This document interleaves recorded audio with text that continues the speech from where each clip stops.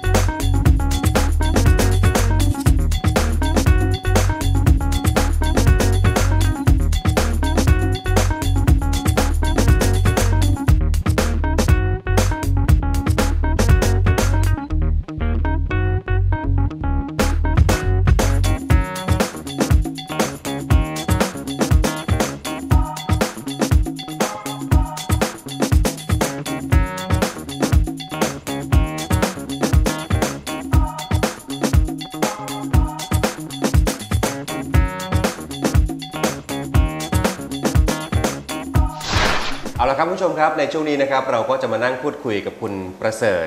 จิตตาสิรินุวัฒน์นะครับกรรมการผู้จัดการบริษัท City Food จำกัดครับสวัสดีครับ สวัสดีครับ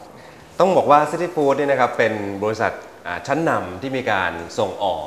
เครื่องปรุงอาหารไทยเนี่ยนะครับไปยังต่างประเทศ ตอนนี้เรามีการส่งออกไปประเทศไหนบ้างครับ ครับ หลักๆ ตอนนี้เราก็มีอยู่อ่าเกือบทั่วโลกเลยนะครับ ครับ แล้วก็มีสหรัฐอเมริกาเอ่อกลุ่มยุโรป ออสเตรเลีย ญี่ปุ่น แล้วก็ประเทศจีน ครับ เริ่มต้นอ่าในการทำธุรกิจเนี่ยมานานแค่ไหนแล้วครับครับเอ่อเราเริ่มก่อตั้งบริษัทเมื่อปี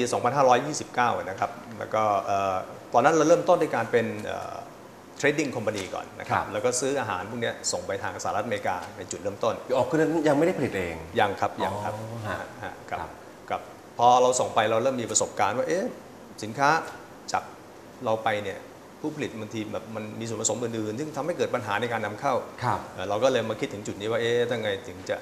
ดีนะแล้วเราอยากจะให้สินค้าไทยไปได้ไกลใช่ไหมครับเราก็เลยคิดที่จะครัมาบผลิตเองครับครับครับ ที่บอกว่ามีปัญหาเกี่ยวกับเรื่องของส่วนผสมอื่น ๆ ที่ที่อาจจะเป็นข้อจำกัดของสินค้าในการส่งออกไปยุคแรกๆเนี่ยอะไรยังไงบ้างครับครับสมัยก่อนนี่อาจจะเป็นเพราะว่าเทคโนโลยีทางการผลิตอาหารยังอาจจะไม่ทันสมัยหรืออะไรครัเงี้บยก็โรงงานที่ผู้ผลิตสินค้าที่ประเภทไทยๆอย่างเงี้ย อาจจะยังโลเทคอยู่นะครับครับ ก็อาจจะ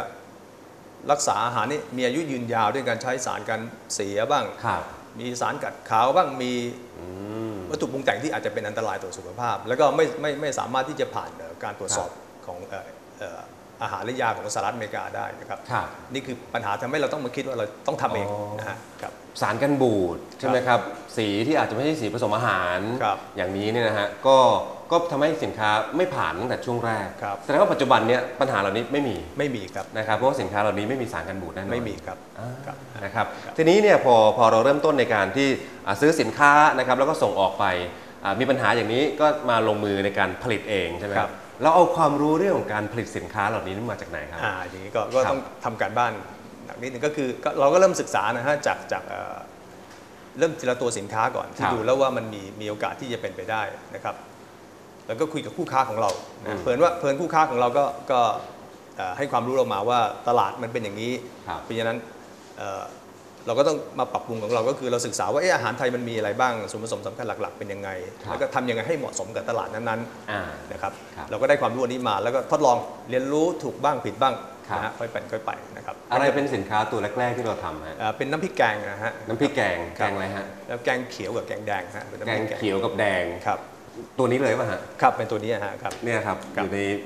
บรรจุภัณฑ์สวยงามเลยนะครับครับ แกงเขียวนี่แกงอะไรครับคุณประเสริฐฮะแกงเขียวหวานแกงเขียวหวานครับแล้วแกงแดงเนี่ยฮะก็เป็นน้ำพริกแกงแดงฮะแกงเผ็ดนะฮะที่พวกเราเรียกกันนะฮะอ๋อแกงเผ็ดครับคือจริง ๆ คือบ้านเราก็จะคุ้นเคยกันกับกับน้ำพริกต่างๆเหล่านี้ครับเดินเข้าไปในตลาดสดก็ซื้อได้ครับนะครับทีนี้เนี่ยไอ้รูปแบบที่ที่นำมาผลิตเป็นบรรจุภัณฑ์อย่างนี้เนี่ยมันจะมีความแตกต่างยังไงกับที่เราเคยเห็นอยู่ตามท้องตลาด ทั่วๆไปอะฮะ ครับครับก็เริ่มตั้งแต่วัตถุดิบอะที่ใช้ครับนะครับ ครับคือเราเราเบื้องต้นเราต้องเอ่อเอ่อ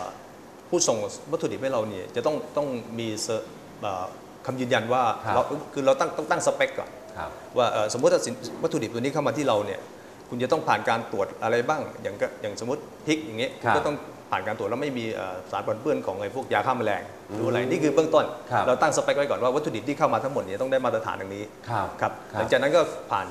กระบวนการการผลิตนะครับครับผ่านการผลิตก็เป็นไปตามตามหลักของเอ่อกระบวนการผลิตที่มาตรฐานทั่วไปนะฮะซึ่งครับซึ่งเอ่อเอ่อหลังจากนั้นเราก็ผ่านการตรวจสอบนะครับครับ ซึ่งบริษัทเราเราอย่างนี้คือเราเราปัจจุบันนี้เราเข้าไปสู่ระบบ BRC ครับนะฮะซึ่งเป็นระบบควบคุมคุณภาพ ที่เราจะต้องผ่านการตรวจสอบครับนะฮะ เราจะใช้ระบบเนี้มันใช้ในกระบวนการการผลิต ซึ่งเป็นการยืนยันกับลูกค้าได้ว่าทุกทุกกระบวนการของเราเนี่ยปลอดภัยนะฮะ เป็นมาตรฐานมาตรฐานที่เราเลยวางไว้ ครับวัตถุดิบที่นำเข้ามาก็ต้องไม่มียาฆ่าแมลงไม่มีไม่มีสารปนเปื้อนครับ นะครับ วัตถุดิบนี่เรามีการคัดสรรจากจากที่ไหนพื้นที่ไหนยังไงไหมฮะ ก็ก็แยกแต่ละวัตถุดิบนะแต่ภาคกลางก็ก็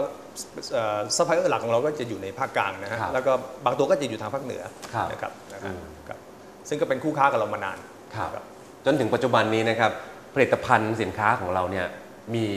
มีกี่อย่างมีกี่ประเภทครับที่ที่ทำการส่งออกฮะอ่าปัจจุบันนี้ถ้าเกิดในในกลุ่มของส่งออกเนี่ยครับเราจะแบ่งเป็นเป็นสามกลุ่มหลักนะฮะก็คือคือแคตตากรีแรกก็คือพวกน้ำพริกครับนะครับเหมือนน้ำพริกเนี่ยเราก็จะมีน้ำพริกชนิดนี้ ซึ่งซึ่งเอ่อลูกค้าจะต้องไปปรุงเอง ซึ่งผู้ซื้อจะต้องมีความเข้าใจในการปรุงครับนะครับว่าจะต้องใส่อะไรไปบ้าง เป็นคือพูดง่ายๆว่าเป็นเครื่องปรุงอาหารครับใช่ไหมฮะ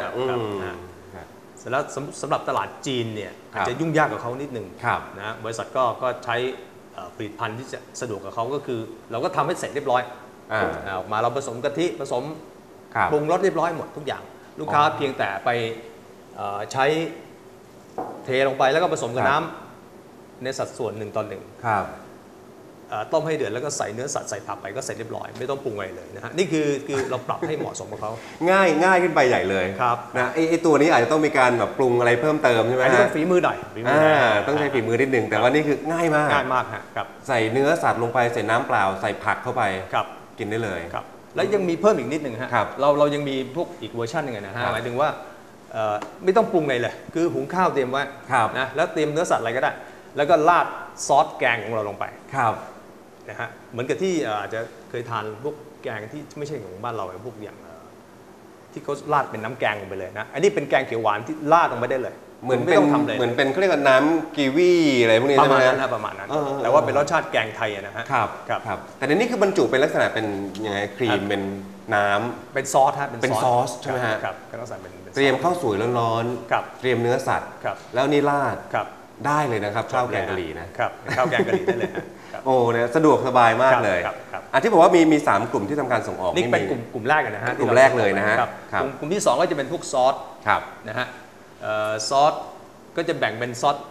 ซอสอันนี้เบสิกเป็นครับน้ำจิ้มไก่กับซอสพริก ซึ่งทุกคนคงรู้จักอยู่แล้วอ๋อนะฮะก็ใช้สำหรับจิ้มจิ้มนะฮะจิ้มก็ไม่ต้องปรุงไม่ต้องอะไรครับครับกับเอ่อซอสอีกตัวหนึ่งก็จะเป็นพวกผัด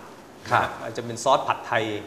นะครับกับอืมเอ่อซอสกะปิครับนะครับซึ่งผัดไทยก็ เตรียมเส้นครับเลือกเส้นก็ผัดใส่ซอสเราก็ผัดก็กินเหมือนผัดไทยข้างถนนทั่วๆไปร้านอาหารผัดไทยทั่วไปนะฮะอืมรสชาติที่ได้ออกมาก็ฮะสะดวกครับครับครับแต่ทุกอย่างนี้บอกเป็นรสชาติของไทยๆไทยๆครับทั้งนั้นเลยนะฮะอีกกลุ่มสินค้าหนึงเห็นบอกว่ามีสินค้าที่ที่จำหน่ายในประเทศด้วยครับใช่ไหมฮะอย่างก็ตัวเป็นี้นเลยฮะครับผมฮะตัวนี้ก็เป็นน้ำเต้าหู้ครับนะครับ สดสดนะฮะเราทำสดสดแล้วก็ส่งส่งสดสดทุกวันทำใหม่ทุกวันเลยทุกวันฮะโอ้สดทุกวันครับผู้พวกก็ผู้พวกได้ดื่มน้ำเต้าหู้สดสดๆนะฮะครับที่แตกต่างจากที่อื่นเราเรามีอยู่ 2 เวอร์ชันครับมีอันหนึ่งก็ผสมคอลลาเจนนะครับนะฮะสำหรับอ่าอ๋อนี่ที่สังเกตที่ฉลากนะฮะครับครับสังเกตที่หลักเป็นผสมคอลลาเจนนะฮะส่วนนี้ครับก็คืออ่าคอลลาเจนมันก็มีมีคุณคุณสมบัติของมันอยู่แล้วในการเพิ่มความ เปล่งปลั่งของผิวพรรณแล้วก็บำรุงข้อกระดูกเลยลักษณะนี้นะฮะเราก็ครับเพิ่มเข้าไปเพื่อเป็น add value ให้มันว่าผู้บริโภคเออไหนๆดื่มน้ำเต้าหู้แล้วเพิ่มครัมบให้อีกนิดนึงเออนะผิวพรรณได้ของเปล่งปลั่งครับเนี่ยอันนี้คือตรงกับความต้องการของคนไทยเลยครับ แล้วก็นะครับสูตรเจครับอันนั้นก็เป็นสูตรเจอืมนะฮะครับผมสำหรับนะฮะเอ่อมังสวิรัตครับหรือว่าผู้ผู้ชื่นชอบเอ่อรสที่หวานน้อยหน่อยครับก็น่าเหมาะสมกับสูตรเจครับเรามี 2 ตัวนี้ ปัจจุบันนี้ก็จะจำหน่ายอยู่ตามเอ่อ ร้านสะดวกซื้อทั่วๆไปนะครับหาซื้อได้หาครับซื้อครับดื่มได้แบบสบายๆเลยนะครับครับ ถ้าเราจะแบ่งกลุ่มลูกค้านะครับของเราเนี่ยนะตอนนี้กลุ่มลูกค้าของเรานี่เป็นเป็นใครยังไงบ้าง เป็นกลุ่มในครัวเรือน เป็นร้านกลุ่มร้านอาหาร หรือว่าเป็นกลุ่มยังไงครับอ่าครับส่วนมากจะเป็นเอ่อกลุ่มลูกค้าหลักๆของเราจะเป็นพวกเอ่อ กลุ่มในครัวเรือนเนี่ยนะฮะครับเขาซื้อไปปรุงเองนะฮะครับเอ่อร้านอาหารจะน้อยมากครับไม่เยอะเท่าไหร่ครับถ้าแบ่งเป็นตลาดตลาดอย่างเช่นตลาดสหรัฐอเมริกาเนี่ยครักบลุ่มลูกค้าเราก็จะเป็นอยู่ในกลุ่มของ mainstream นะฮะอยู่ในตามเอ่อพวกซูเปอร์มาร์เก็ตครับหลักๆทั่วไปนะครับครับครับส่วนในประเทศจีนก็ก็เอ่อทำนองเดียวกันฮะที่ครับเราจะจำหน่ายอยู่ครับอืมก็ก็อยู่ในซูเปอร์มาร์เก็ตอืมทั่วไปทั้งทั้งเซี่ยงไฮ้จะหาได้ซื้อได้ครับถามคุณประเสริฐนะครับว่ากลุ่มลูกค้าเรามีการส่งออกไปหลายประเทศอย่างนี้นะครับ รสนิยมของแต่ละประเทศแต่ละพื้นที่เนี่ยเป็นยังไงบ้างอเมริกาเป็นยังไงยุโรป หรือว่าจีนออสเตรเลียนี่เป็นยังไงครับครับก็แตกต่างกันเนี่ยนะครัครับแต่ก็โดยหลักๆ แล้วก็เขาชื่นชอบรสรสไทยๆอาจจะมีแตกต่างกันรายละเอียด ซึ่งไม่มากนะฮะบางบางบางที่ก็อาจจะไม่เผ็ดเลยนะอ่าซอฟซอฟๆไมล์ๆหรืออะไรอย่างเงี้ยนะฮะครับ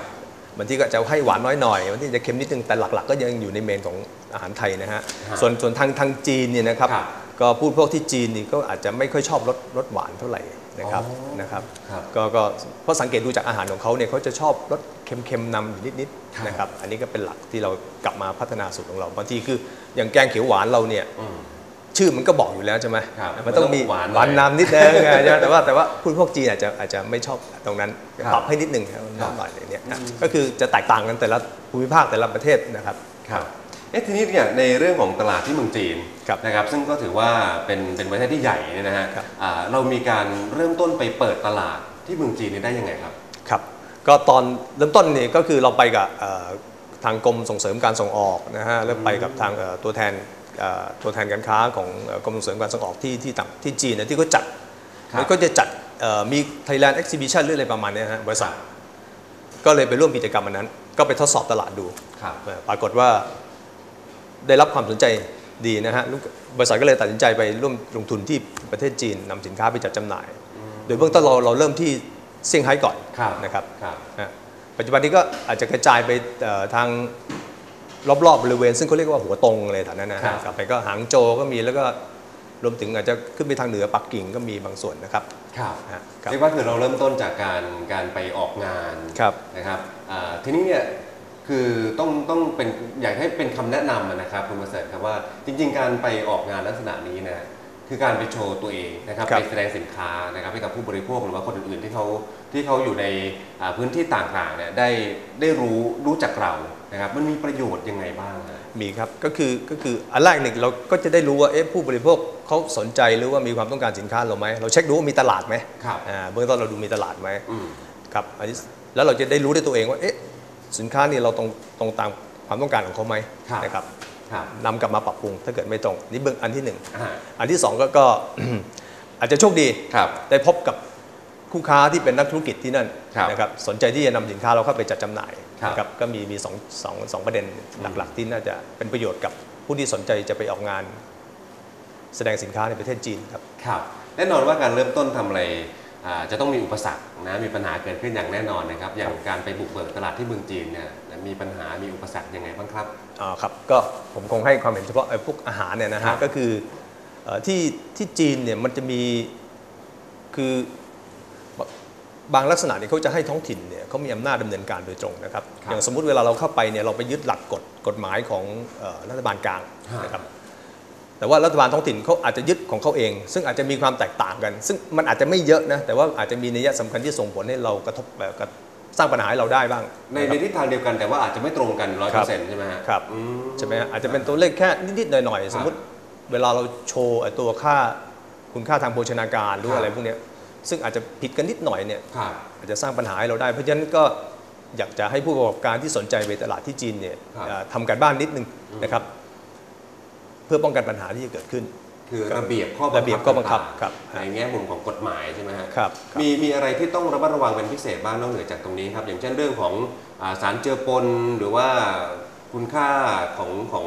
อาผลิตภัณฑ์ของเราอะไรพวกนี้นะฮะปกติผมเข้าใจว่าปัจจุบันนี้ผู้ประกอบการไทยก็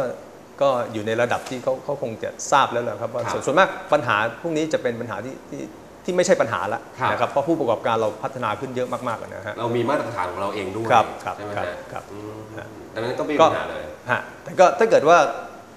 ตรวจสอบก่อนก็ดีนะฮะครับถ้าเกิดว่าเขาเข้าไปตรวจเจอเนี่ยก็จะสร้างปัญหาให้เราครับได้ยังไงก็เพิ่มความระมัดระวังแล้วกันนะครับครับนะฮะอ่าพวกสารกันบูดอะไรพวกเนี้ยก็อาจจะเป็นปัญหาเขาครับ เปิดตลาดที่เมืองจีนมานานแค่ไหนแล้วครับ ก็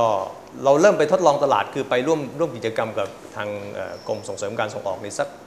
ปีหนึ่งแล้วก็หลังจากนั้นก็รวมๆแล้วปัจจุบันนี้ก็ประมาณ 2 ปีเสร็จๆแล้วล่ะฮะสองที่เราปีไปเสร็จๆแล้ว ครับที่ไปวางตลาดครัผบลตอบรับเป็นยังไงบ้าง ครับ ก็ยังต้องใช้เวลาอยู่นิดนึงนะฮะฮะก็มีมีนัยสำคัญที่ดีนะฮะแต่ว่าครับต้องใช้เวลาครับนิดนึงครับนะฮะเราไม่อ่ากล้าบอกว่าเราประสบความสำเร็จแต่ว่ายังต้องใช้เวลาฮะครับ นะฮะเราอาจจะขาดอยู่สักสองสามอย่างหมายถึงว่าเราต้องการเพิ่มคู่ค้าที่ที่ที่มีสเกลที่ใหญ่กว่านี้หรือว่าอะไรเงี้ยอะต้องใช้เวลาต้องใช้เวลาครับครับอะถามนิดนึงอย่างคนจีนเนี่ยเขาชอบ เครื่องปรุงอะไรมากที่สุดฮะเอ่อน่าจะเอ่อเป็นแกงแกงเอ่อแกงแกงเหลืองอะนะฮะแกงเหลืองนะฮะหรือกับแกงไม่ไม่ใช่แกงเขียวไม่ใช่แกงแดงแต่เป็นครับแกงเหลืองฮะแต่เป็นแกงเหลืองแกงใต้ด้วยเหรอไม่ใช่ไม่ใช่ฮะเป็นเป็เป็นนไงเป็นเขาเรียกไอ้ไอ้แกงกะหรี่โทษทีฮะแกงกะหรี่อ๋ออ่าเป็นแกงกะหรี่ฮะอ๋อตัวนี้ครับจะค่อนข้างถูกปากคนจีนครับอืมนะครับน่าสนใจ จะจะไปใกล้เคียงกับแกงของของเขา